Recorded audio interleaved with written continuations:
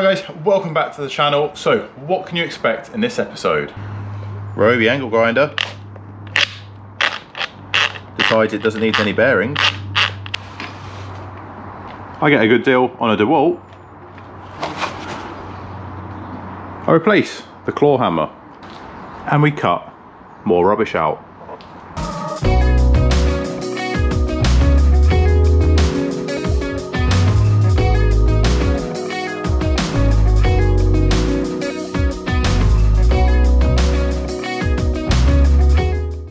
Right, so I think that's brought you up to speed somewhat. So I've been out here for... Yes, that's a... Someone reversing up the street. Right, okay. right, so I've been out here for four hours. Um, trimming back, so I left you in the last episode, we ran out of light. So I thought I'd get out here, finish off what I was doing. Basically all the bits of the floor that are gone, that needed to be gone are gone. I've not trimmed the new panel to fit or anything like that. Um, I'm going to trim the car to fit because I want as much of the new panel in as possible.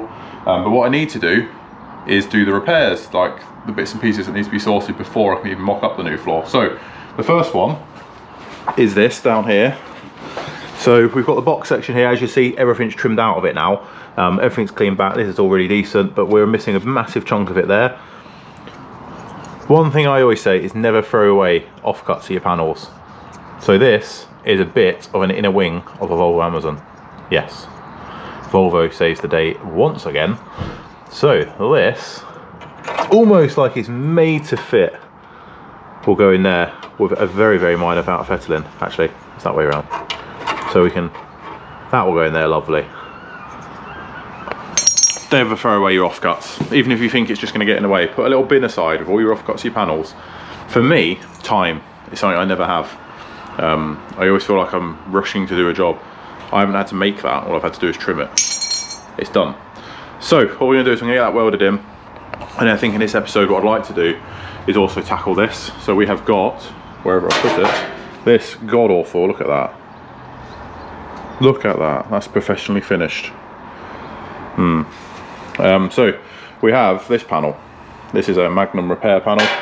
Like mentioned, I only want the very, very low part of it just to get rid of this lip basically and replace that. So what I'd like to do is basically get all of this is out, all the door bins trimmed, all of this is trimmed up to here. Like I said, I will bring the new floor, I'll cut the inner sill down on the new floor. So the main reason for this is um, you can't get right up in here really very easily to do a really good weld. So we need to repair a little section of it there. Um, this lip just needs a good tidy up and we should be able to use that again. All the bottom of the bin's cleaned up, that's nice, bin's fine. Um, but what we'll do is we're obviously bring the inner sill, so you've got your inner sill of your new panel there. We'll bring that right up and we'll use that all the way along. But down here I'll trim it down put the new seat belt anchor in off the new panel and we'll trim it and we'll come along here. So I can do a lovely seam weld here instead of trying to get some half decent welds up inside there. Because um, you'll see that's quite a tight space to try and get any sort of a sensible and safe weld onto it. So that's the way I did it on the Clubman and it worked out quite well. So basically just cut a good sheet of the steel out the back, which is good because you can put your steel in your bin, like I've just mentioned, and you keep that for a rainy day, but it also just saves you a lot of time. Um, and like I say, it gets you a, a, nice bit of, good bit of seam welding instead of trying to get a half decent plug weld in a gap you can't even see. So that's the way I've done it. I'm not telling you to do it this way, but that's the way I did it on the last one and it worked out really well. So in this episode, basically we're, pre pre pre we're preparing to get the floor in and mocked up in basically. So I've done all the trimming I need to do now. Now I need to do the repairs. So get this little box section bit done and then we'll crack on with that rear quarter if we don't lose any light. So if you haven't already, please consider subscribing to the channel. Um, I've got some goals for 2024, which I really want to achieve, and I know I can achieve it with you guys. So um, yeah, please subscribe to the channel if you haven't already, give this video a thumbs up. I love the chats we have below, so comment away anything you want down there, whether it's constructive or criticism, I really don't care. It's, for me, it's just having a sort of chat. Um, yeah, and while I've got your attention, go and check out our sponsors. We have got Minimine. There's a link in the description below. Discount code on the screen now for 10% off their eBay store when you spend £15 or more. So please use that. That massively helps the channel out and it gets you your bits for your Mini nice and cheap. Um, and then we have Frost Restoration for all your tools, consumables and stuff like that. It's a shame it couldn't help me out with the angle grinder. So just literally go to the nearest spot I can find, a shop that was open, And luckily that DeWalt was on offer, so I don't think it was too bad really. And it has a three year warranty, so bye bye Ryobi, never buy one of them again. Well, let's get on with the, the fun task of welding and grinding. So I'm gonna get this little section in first. The welder is dragged down, ready to rock and roll. We'll get this in and then we'll start chopping that out. Let's get to it.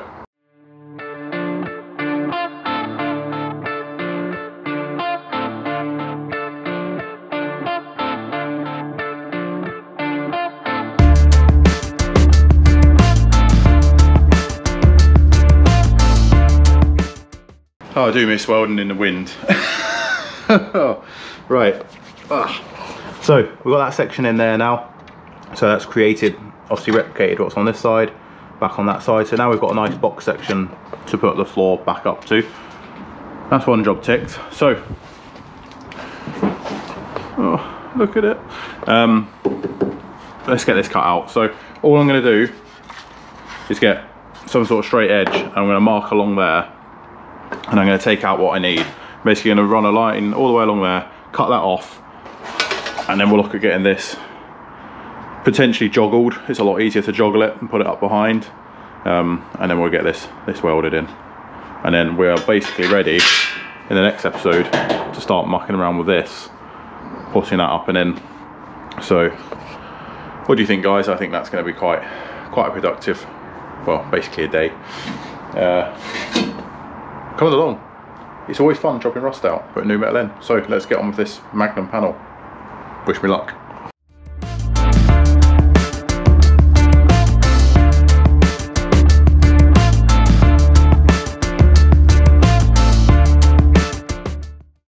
Right, sorry about that, there's nothing I can do, the camera is getting covered in sparks. As you all notice, I haven't even left the guard on this. Right, so we are trimmed up now and as I was trimming it all cracked and went so this was the right thing to do.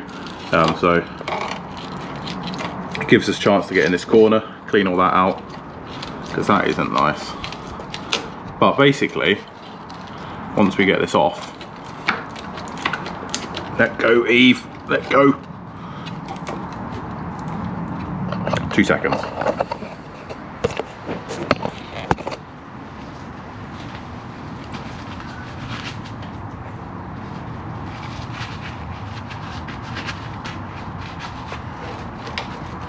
it's stuck with the weld from everyone else.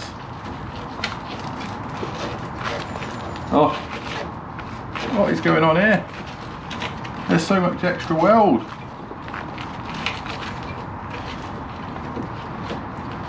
Why is there a weld there? Oh, you poor, poor car.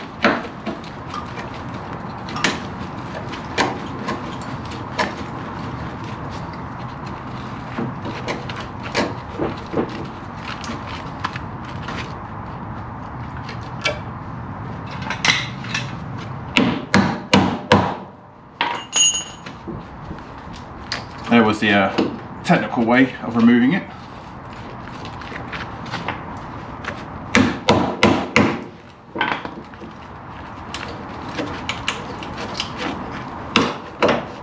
Right, that was the technical solution, guys. Um, you will now see just exactly what I mean. Look how thick that is. So there's the, oh God, it's horrible. And we cut, cut it, you see, just where the rust started. So that's why I've done it this way. All right, a bit more for scrap bin. All right, so what we need to do is get in here, rush treat all this up, tidy all that back. Um, just take this little bit out, there's a spot weld there. And then what we're gonna do is we're gonna cut this to suit, joggle it, and we're gonna put it up under there. And then that's that piece, all nice. But while I've got access, I'm gonna repair this section. So I'll be right back with you.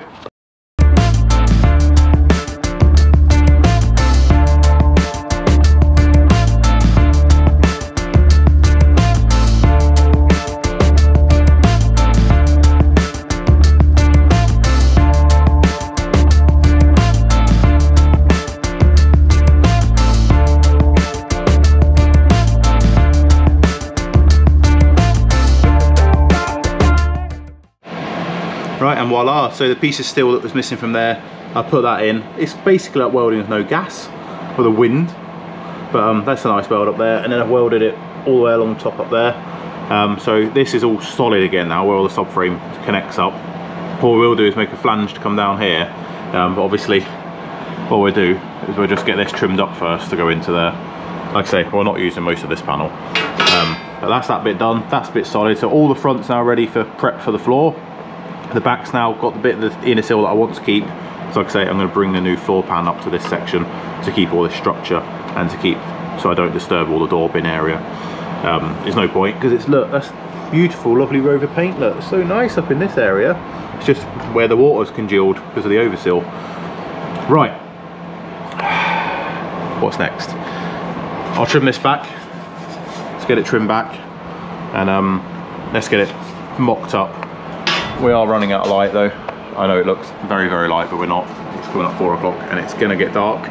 Um, so what I wanna do is I'd really like to get this panel fit in and hopefully tacked in and then I can leave all the inside of this in Kurust or a rust treatment. I think I've got Kurust that's well I've got on the shelf. Um, so we'll come out and we'll do it a few times to get it nice and rust free in the corners. Yeah, let's crack on with it. I'll bring you guys back once I've got this panel trimmed up.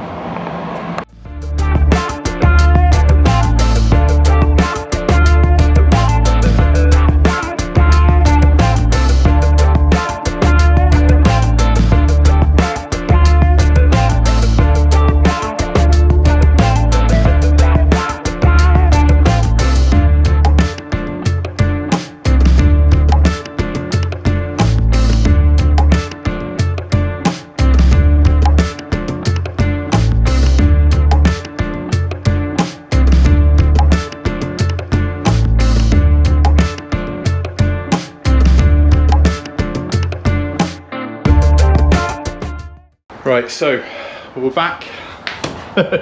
um, yeah, it's getting dark, so I just wanted to get this done. So I've got this lower piece in here, and like ever with these um, Magnum panels, they're not the best. They are repair panels, and bleed, do bear that in mind when you buy them. Um, but you can't justify buying a whole rear quarter when the top of this is mint, all around here is mint, and you don't want to cut out an original quarter if you don't have to. Um, so what we've done is we have put this lower edge in. I began to ground it, grind it back, but obviously you have a wheel arch coming down here and then it will need a light skin fill along the bottom just purely of the nature of this job. But now we've got a beautiful, beautiful seam now. Um, there's a little triangle a bit missing there because that's just how the panel's cut. So when we put the seal up, we can address that then. But this now, all this panel here, all in here is now rust free. So like I say, we are losing the light, but basically we are now ready to mock up that new quarter slice floor um, to go in. So I'm going to go in have some dinner because I am knackered. It's another day on this. Um, yeah, we're getting there, aren't we? We are getting there, and that is the main thing. So from the top, this box section is now repaired. Um, we put that section in down there. Again, you can't see, got no light out here. All this door steps already been done. We did that in the um, barn. That's now done, so we're happy with that. Bought door bin's fine, so we're happy with that. And then we've repaired the inner sill part there. So really we have got quite a bit done today. It all does, doesn't look any different really, um, but it is all this prep work that just people just do not see takes some amount of time to do. Um, but yeah, I'm happy with it. We can now start getting the big panel in, getting the seal on and we can button up this side. So like I say, how much of this car I film doing, I don't know. Um, I'm struggling anyway to film here. Uh, I'm doing welding in the wind today, which anyone that's ever done that knows it's no fun because you're basically welding gasless. So that's no fun. But what I will do now is quite a few people ask me my welding settings and stuff like that. And just before I shove it in the garage, we'll just have a quick look at that. So if anyone's interested, have a look for the next 30 seconds. Right, so this is my welder, um, Kennedy Turbo, uh, what's it called, 220. Um, not a cheap welder. I did get help buying it. Um, I bought it on basically through trade uh, many, many years ago. I think I've had it about eight years now. It's been a good little welder to be fair. Well, little, it is enormous. Um, but yeah, so these are my settings. Right, so my wire speed I tend to have at between four and five. I You alter that depending on what you're doing. I've got that set to between six and seven. And then down here is your power. When I'm welding minis, I tend to just have it on the one. Anything thicker, stick it on the two. Um, and I have been known to be doing like, you know, welding box section and stuff. You can whack it right round.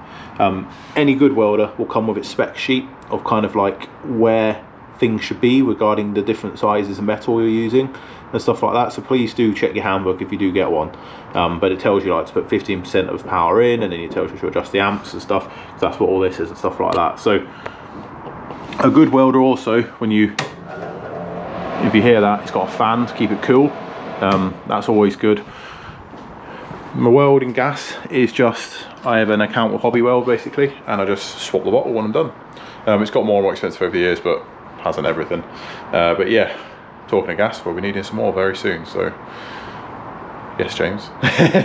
um, we'll have a chat about that. Yeah, um, but yeah, I thought I'd just check that because loads of people ask me about that, and I always forget to uh, just have a look at the welder. So anyone that's interested, start with them settings maybe. My welder's quite well dialed in now. It's taken me a while to set up how I want it, but I'm happy with how it welds now. So, right, this will probably be the last restoration video before Christmas. Um, I will do another video just to touch base with you all before Christmas.